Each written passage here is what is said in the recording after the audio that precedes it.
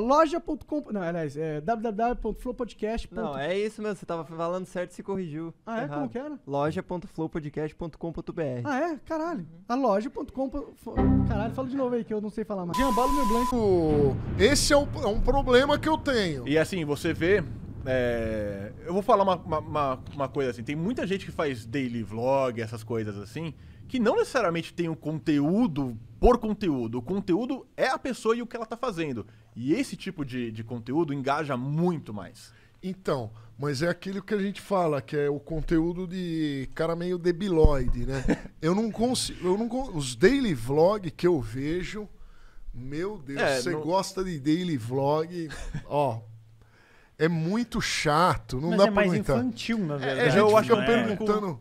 Mais como- teen, né? É, eu acho que é um público mais adolescente, Então, assim. né? eu e o Guru já conversamos muito isso. Como que eu vou fazer papel de um imbecil pra agradar uma criançada? E se a criançada não, não, não gostar, né? Se os adolescentes não gostarem do meu conteúdo, os meus amigos vão falar que eu sou um idiota. Vai todo mundo falar que eu sou um idiota. Então não é pra qualquer um fazer daily É vlog. difícil. Não, não é, é muito difícil. Cara, é, é você tirar conteúdo do seu dia a dia, Lorde, é muito difícil. Você conseguiria gravar teu dia a dia aí? Consigo. Descreva- meu descreva dia a teu dia, é pra mim. interessante Então pra descreva, cacete. descreva um dia na vida de Lorde. Eu acordei, Hoje. Nossa. comi Hoje. empanadas Ah, e Que hora da manhã um você comeu empanada? E um horas? cani, 9 horas da manhã. Tá, e empanada um com cani. cani. Tá. Ninguém come isso. Cani é aquele negocinho lá que é meio que um. O que, que é isso aí? Cani é surimi, é, é imitação de caranguejo. Tá, tá, meio que um Aí, peixinho, assim, um. Fui no branco. banheiro, fui no meu banheiro. Ótimo. o meu banheiro ele tem um- uma ducha galera- larga, né? É. Queria mostrar que ninguém tem uma ducha larga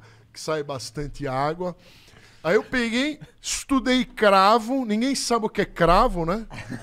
Fiquei tocando lá uma hora de cravo, é, invenções do Aswad, suítes francesas, que eu não posto no meu canal porque ninguém vai querer assistir, mas é interessante. Tô, tô achando também. Depois eu liguei pro guru, falamos mal dos youtubers e iniciamos uma. Aí, ó, dá um bom, Dá um bom vlog, Dá um né? bom eu vlog. assistiria um bom- isso. Eu, eu ia ficar preso ali na parte que ele tá no, Assistiria nada, seus mentirosos. Assistiria a parte de você no banheiro. no- na ducha aí que você É, falou, na como que ducha é? grande. Eu nu? Com, mostrando os Não, meus mas é, seios. é, é YouTube, né? Tem que censurar, né? Não tem como, né? Ah, Não, não é assim também, né? não, Lorde? Não Pô, dá, ter que ter uma tarja. Mas como é que foi? E depois, eu- provavelmente você ficou encantado com o YouTube. Lógico, vou largar tudo. Agora que você já tá com uma larga experiência, você vai ser youtuber forever, óbvio, que você é um youtuber de níveis titânicos, mas esse te deu uma saudadezinha de ficar lá na marmoaria e tal. eu vou. Eu ficava no ar-condicionado, no escritóriozinho, bem É. tranquilo. Mas eu vou falar pra você, eu trabalhei e tive o canal postando vídeo todo dia durante seis meses, tá? É, eu, traba eu, eu trabalhava, como eu fazia muita coisa com...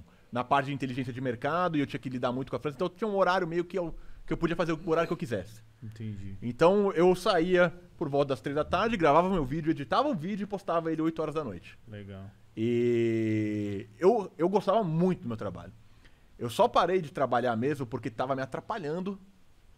A palavra, sendo sincero, é ganhar dinheiro.